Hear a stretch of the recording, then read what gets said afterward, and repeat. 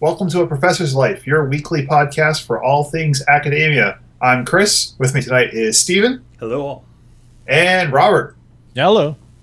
And tonight's episode is going to be all about collaborators, choosing them, working with them, and, um, you know, killing them. All... Oh wait, no, sorry. No, not killing them. Oh, not it's an entirely different show. Yeah, that would be a different show. That would be maybe part two of the collaborator show. So, um, Robert, I believe you proposed this topic. Uh, no, Stephen, you proposed the topic. I don't know. I got an email at an ungodly hour this morning, and uh, or a text, and woke me up. That was from Stephen. I was yeah. already up. I've been up for like an hour and a half. Oh, good for you. I don't have kids, which means I get to sleep till eight thirty in the mornings on my Sundays. Yes, I don't understand that concept, but okay. All right, you speak of. yes. So, anyway, back to collaborations. Yep. What were you thinking, Stephen?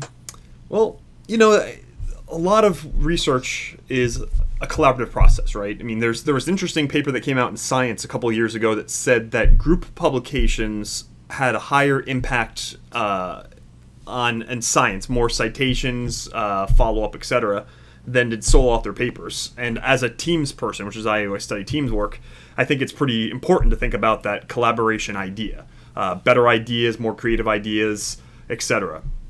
Um, so, so this was, I guess, an area that I think is really quite critical in what we end up doing. And I've been a person who's been working with a lot of different people in my career. I like working on three, four, five uh, author papers, which in my side of the world, that's more.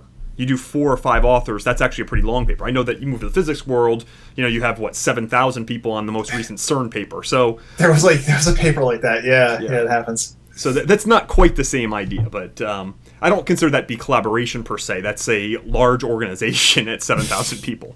yeah. Um, but I, I, guess what what I think about is what is the purpose of what you're trying to do? You know, that's the question I'm always asking myself. What am I trying to accomplish in any given research study? And you know, I've been doing this now. I've been a faculty member for 11 years, and and you know, PhD student for five years before that. So that's a long time working on this stuff. And I know what my strengths are and my weaknesses are. And so I'm always looking for ways to complement myself, you know, that can find a way to fit somebody who can do something better than what I can. You know, that may not be the same thing. I may be, you know, the, the lead writer or theoretician on something. I may be the best methodologist on something. I may be the best study design on a different one. But I want somebody who can complement me and, and I think oftentimes push me because I like to learn. I'm one of those guys who, you know, if I'm sitting down with somebody, I want to figure out, well, what did they do? How did they do that right? How did it get better for them? I want to know what their process is. So for me, a lot of that is looking for people who I can benefit from. Now, not in a sort of a, you know, steal from them kind of a way or just, you know, leech off of them, but really of a, you know, what can they, how can I, they bring something to me and then I can, again, compliment them back so we can get something more successful. Um, at this point in my career, you know, theoretically, I should be working more with PhD students. PhD students should be my perhaps primary area of, of collaboration. But we're in a in a department where we just don't have many PhD students in general, but particularly PhD students in what I do.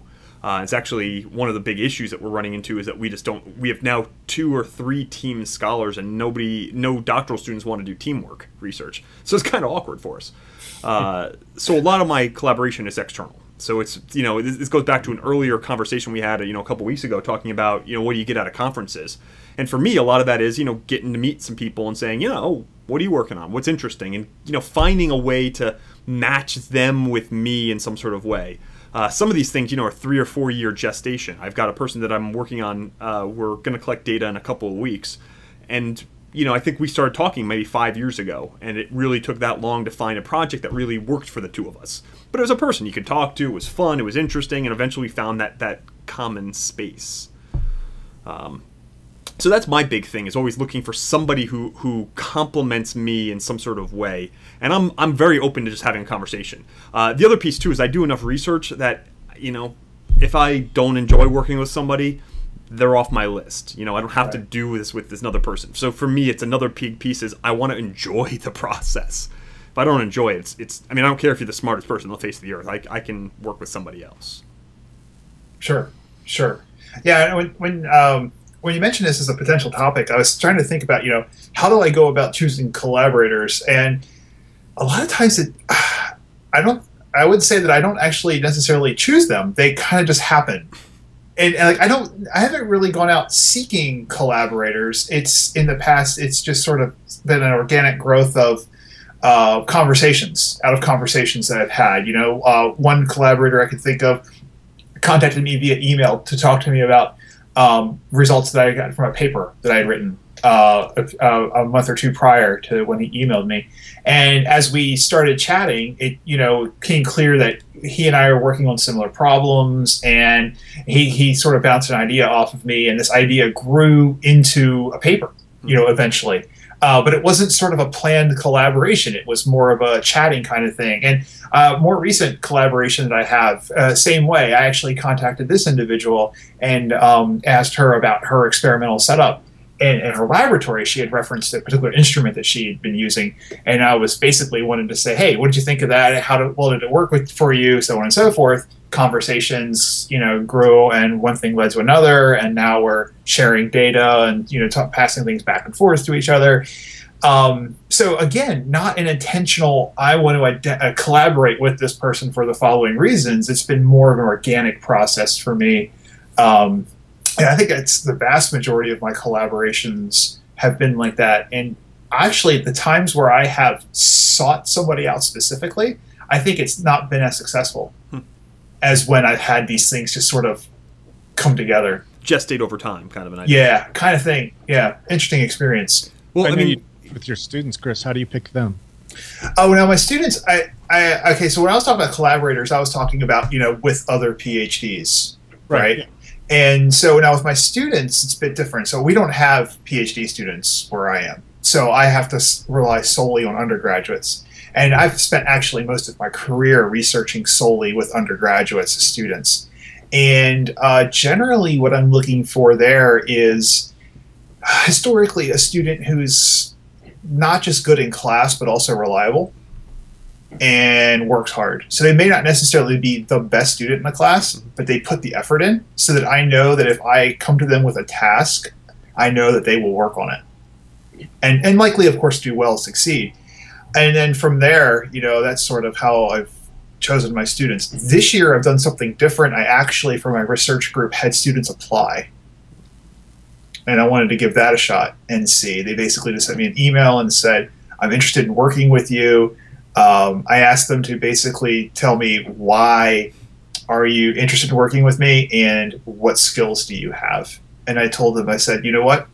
you might think that all I care about is what computer languages you know, but the truth of the matter is, if you're good at plumbing, I want to know that.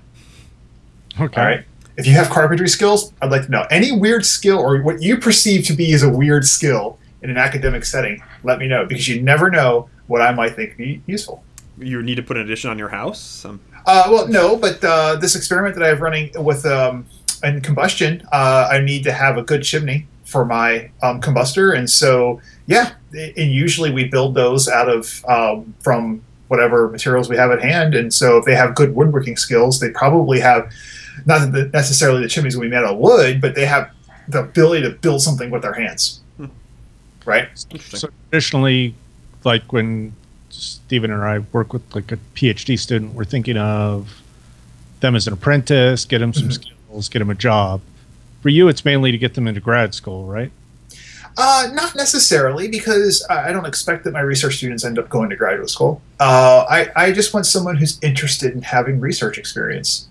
And okay. most of them, yeah, and most of them don't go into they do, the ones that do go into graduate school um, don't go to graduate school for my field of nonlinear dynamics. I don't think I've ever had a student actually. Their horizons.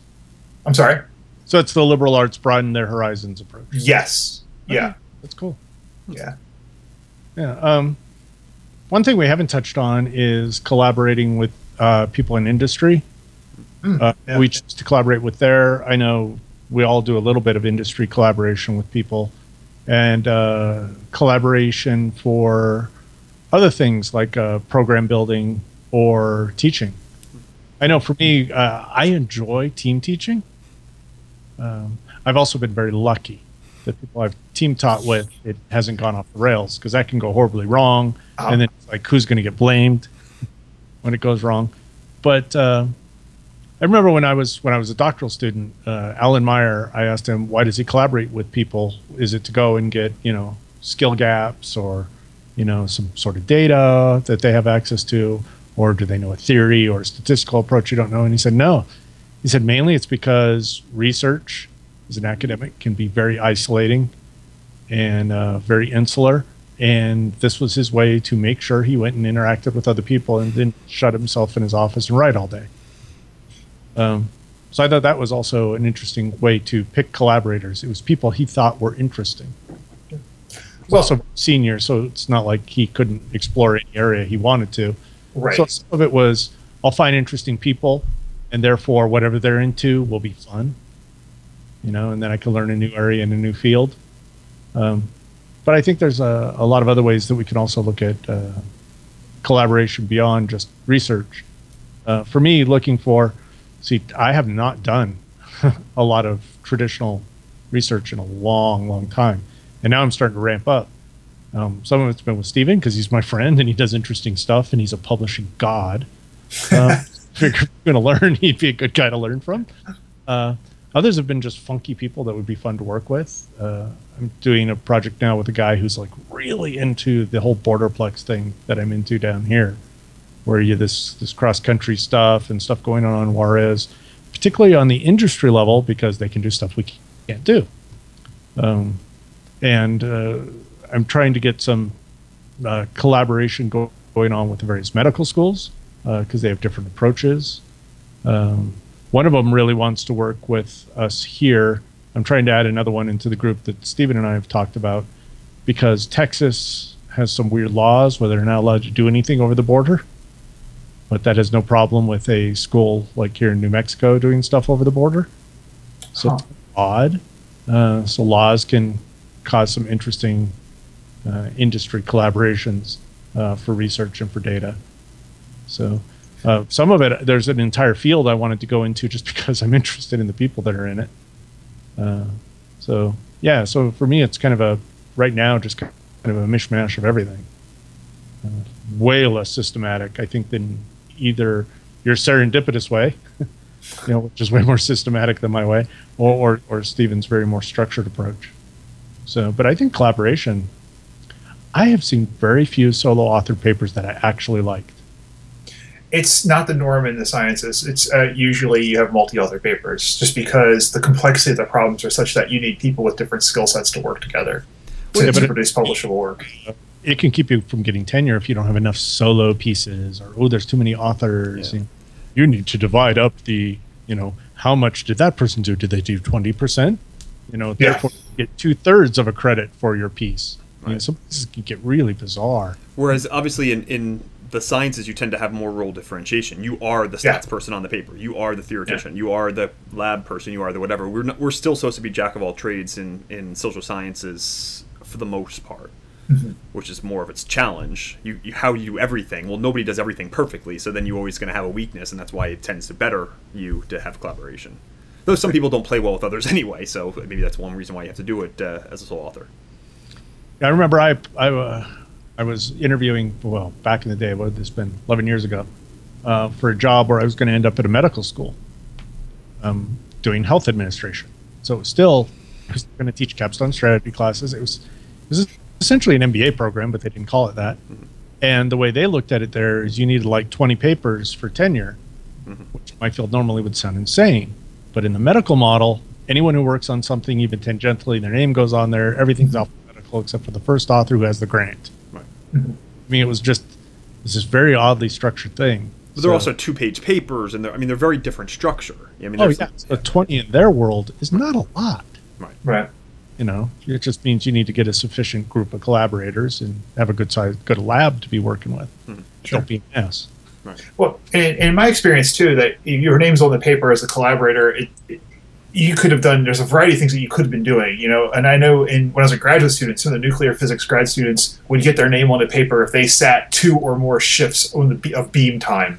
So they were basically, you know, monitoring the beam. A couple of them explained it to me as we, we did our homework while we sat in the office watching the beam run, you know, and and that's just the culture there. Uh, I've been involved in papers where people have been added as a co-author, myself included, for writing code, but not actually writing part of the manuscript. Mm-hmm. Right, so you contributed to the work, but maybe not necessarily to the writing. And I know some of my friends in the social sciences and the humanities, when I tell them that, it's like, "Wow, that's bizarre," right. uh, you know, because the, the writing is so important to them. Right. Well, we we on the other side. I've, we've actually been on projects where there have been, you know, notes passed around, emails, so forth, mm-hmm. to say, here's what I'm going to justify dropping this person off of the paper. Because although they collected a bunch of this data and so forth, they didn't really add to the theory building. You know, they've gone that far because there there's still stigmatization of having more than you know six authors on a paper. Because we go to et al, you know, right. after five. And right. so if you're if you're a six author paper from the get go, nobody after the first one ever gets seen, and that's a big deal. I think it's a visibility or perhaps an ego perspective. I don't know, but it's just the, the norms of the of the uh, uh, culture and mm-hmm. field. And then there have been people dropped off books as the third author, so the second author can have their name cited. Right. You know, yeah, the et al. issues, yeah. Tenure. Yeah. tenure. Uh, I know of uh, some authors at, at, at a, one particular Ivy League school I have in my head where he has many soloed pieces that he didn't even write because mm-hmm. stock students write it and they get in the footnote, but he's the professor. Right. So therefore he gets all the credit. So there's that's unfortunate stuff out there. Yeah, yeah. that's unfortunate. Right. Yeah. Now, just so we can, you know, throw a wider net of the collaboration, I like the direction you were heading in, Robert, in terms of, of team teaching and those kinds of, and, and collaborations with industry. I've had some uh, experience collaborating with industry, and I found that my experience is that things are a bit more secretive. And well, yeah, to deal with, and can you yeah. really publish? Are yeah. they going to write a first refusal on your mm-hmm. piece and tell you nope, it's dead? Right. I don't like the angle you took. Uh, it, it's its own can of worms. Yeah, absolutely, it is. It's a different game. Yeah. And some of that I, is is it a collaboration or is it just an opportunity for data? You know, so I have you know colleagues who do consulting yeah. work, and so they basically write it as this is the rate that you pay me if I get access to the data, and if I if you don't deliver me the access to the data, then you pay uh, rate X plus some other number. You know, so hmm. that that's just pure consulting. So you know, it removes some of the downside risk of doing work and not being able to get the data. But that's not a collaboration, I don't think. Whereas you know, in some of these things, if you're actually working with them to solve a problem, they're participating. Perhaps you're using their resources, and then they do stuff. I, I remember several years ago, a person who published a paper on um, uh, nuclear plant teams so basically, they're looking at how do these teams work together, and you know what's the interactions amongst them, and so forth. But it was working with the Nuclear Regulatory Commission, and basically, the Nuclear Regulatory Commission suddenly lost all of the failed teams from the data set. Hmm. You know, because they can't fail, and yet the problem was that was like twenty percent of the data. you know? Right. Yeah, it was still published, but it was one of those statements of that's the risk you run on any of this stuff that they, you know, just refuse access, as Robert you were suggesting. Sure. Sure.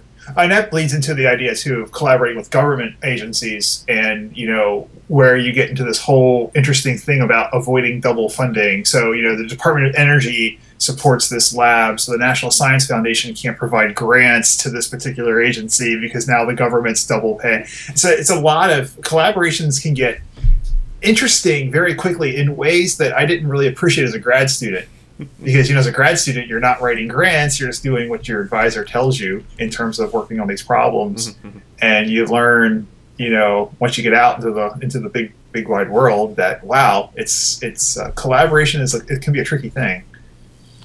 Yeah because especially you write the grants one way and then irb wants something a different way. Right. You know which one are you going to piss off?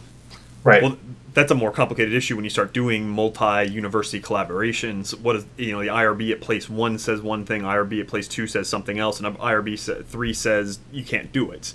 I mean, I'm involved in a project right now that's a cross-border collaboration, and the Mexican IRB, you know, went right through, but the two of the U.S. IRBs had different concerns about the project. Mm-hmm. You know, and so it's just one of those statements of, well, where do we go? You know, what's the true answer for how you're supposed to do this? Do you even need it? If I never even touch the data, do I ever do I need IRB? And that's just issues on some of this collaboration. Sometimes it's just kind of a pain in the butt if the most difficult IRB becomes the standard that you all have to work through.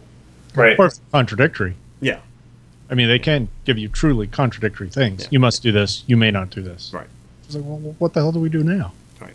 At the one person from the project until data gathering is complete, eh, which under most IRB standards means you then have a different standard to come in because the data is already gathered. I mean, talk about, it's unethical as hell, but Mhm. you know, what are you going to do? Well, and in addition, once you start talking about multiple multi-nation sort of collaborations, international collaborations, then you have the issue of funding. And so, you know, with the sciences, certain government agencies won't fund international uh, or foreign agents, and that could be another university, whatever the case may be, however that's defined. So then you're in this position of, okay, I think I can get funding for my bit, and you think you can get funding for your bit, and then can we get these things to have overlapping bits so that we actually are funded to work together? Uh, it's a little dance that you have to play, um, a little Yeah. game. More complicated for someone like you in sciences. It can be, yeah. Well, particularly since there are secrets in social sciences. Yeah, yeah, but th- there are things that are run through um, funding agencies as to whether or not the paper has to basically be deposited after it's published, deposited in a repository or something like that.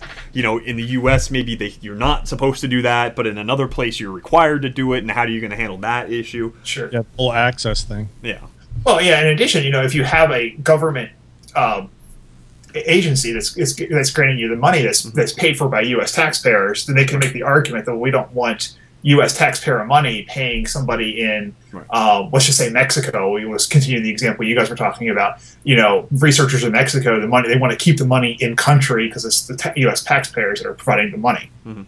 You know, so it's not always just about secrets. Sometimes it's about, you know, where's the money coming from Right. Yeah. it can be tricky. Yep. Now, um, Robert, you had mentioned earlier about uh, team teaching or collaboration through teaching. I've never had the joy of uh, team teaching. I don't know. Have you, Stephen? Yeah. Goes, Yeah. I've only done it once, and it was with Robert. Oh, okay. Okay. So, It was a terrible experience. I mean, um, Yeah, I, I like team teaching a lot. Um, I, well, just think of it this way: it's the difference between the solo podcast and the duo. You know, there's someone there to fill in the gaps if you space, or you get sick, you know, or you just don't want to do it that day. Um, or you just start bouncing ideas off each other. You fill in gaps. You're there to answer. Particularly as you work your way up, you start dealing with executives um, or graduate students. You may not know what the hell they're talking about, but the other guy might. Uh, so then you look over and just like, uh, yes, of course, we agree on this completely. This thing that I've never heard of. Look like an idiot. Uh, and lose credibility with your students, and then you're dead. So you Yeah. lose credibility. Um, because they make the mistake a lot of times of assuming you know everything, and the moment you sort of show a single flaw, you know, it's all over. Uh, I've even gotten to the part on that where I've even talked with collaborators where you feign ignorance on some stuff you actually know, because then the students will assume you know everything else. Screwing with their done stuff. oh, I was not aware of that one. Like that's the one thing. in the- guy is blue. This guy's- That's fascinating. Yes. Um, yeah, but team teaching could be it can be a hell of a lot of fun, particularly if you get people. Uh, I did one where I taught it with a uh, an IE professor. So, and it was an experimental class, and it, it was me, and it was a uh, Tim Simpson, IE professor at Penn State. So we're teaching this class on tech commercialization, and we're going back and forth. We thought the class sucked, quite frankly. you know, we thought, wow, well, we learned a lot. We got like perfect sevens from the students. They thought it was like the greatest thing ever. And we're looking at each other like, okay. So apparently that went a lot better than we thought. Um, because between the two of us, I think we both were holding ourselves to a much higher standard than if someone else, another professor, wasn't watching. right. Um, so I can we see that. All the flaws in our delivery. And so maybe that even caused us to push and actually produce a little better than we would have otherwise, even though we were more self critical. Because students thought it was great. And we had students from many different fields in that class. Uh, yeah, so I've, I've done it, but I did it in uh, as a grad student. As a grad Okay. student, my team taught strategy. Because in my program, we tried to get it so all the doc students taught one of the core courses because it helped with the market Sure. neither of us had taught strategy. It was right at the end. It was just like, crap, we got to get around and teach strategy. Let's do it. It's team teaching. So that worked really well. uh, where the institution I'm at now won't allow a a, a PhD student to teach the capstone strategy.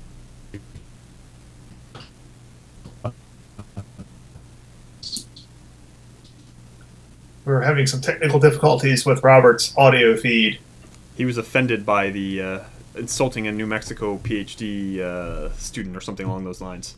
That might be, yeah. Yes, yes. Um, but I think the the point is well taken, and, and you know, let me let me put the other side of this conversation, which is that if you are um, doing a team class, uh, you back there?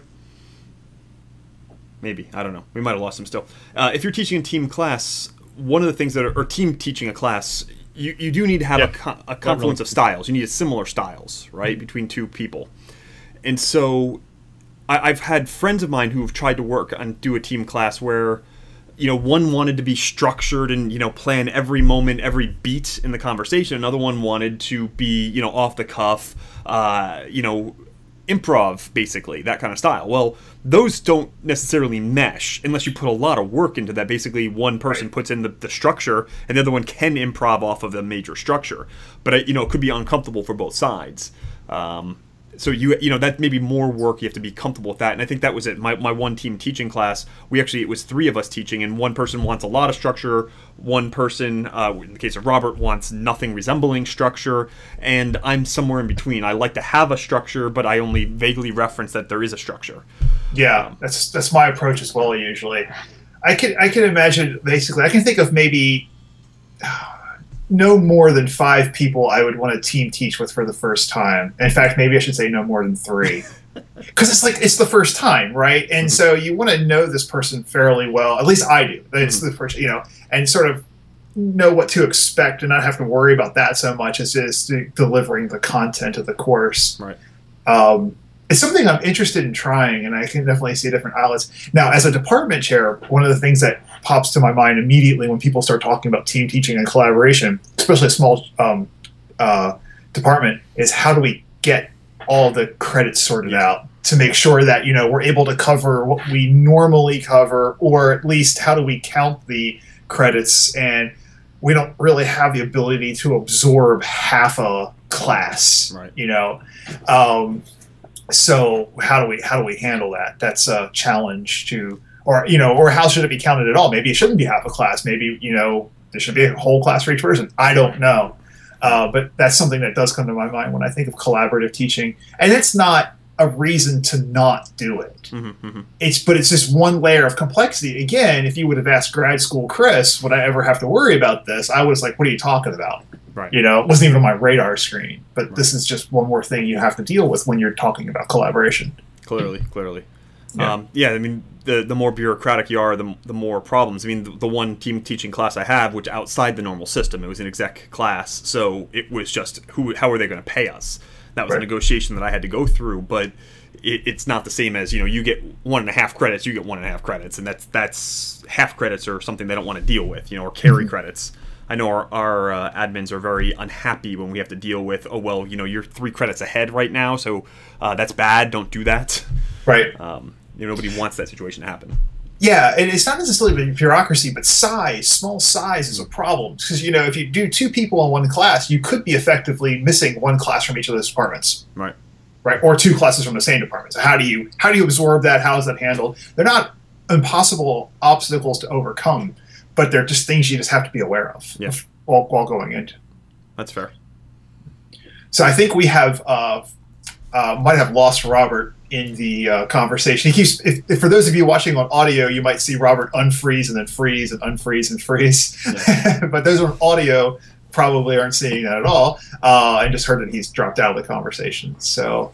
Uh, I think we will go ahead and wrap the show up. It's a good discussion on collaboration tonight.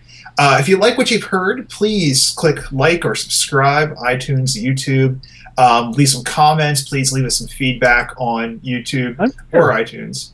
And also, uh, please, in addition, um, consider um, subs- uh, tweeting us at a professor's life to uh, let us know what you think and to suggest some topics. And I think I kind of got rambly. Sorry about that, folks. I apologize. I was distracted because Robert's image is now changing on my Skype feed and it threw me off. So, all right. So, anyway, that's all for today, folks. And uh, just get back to writing.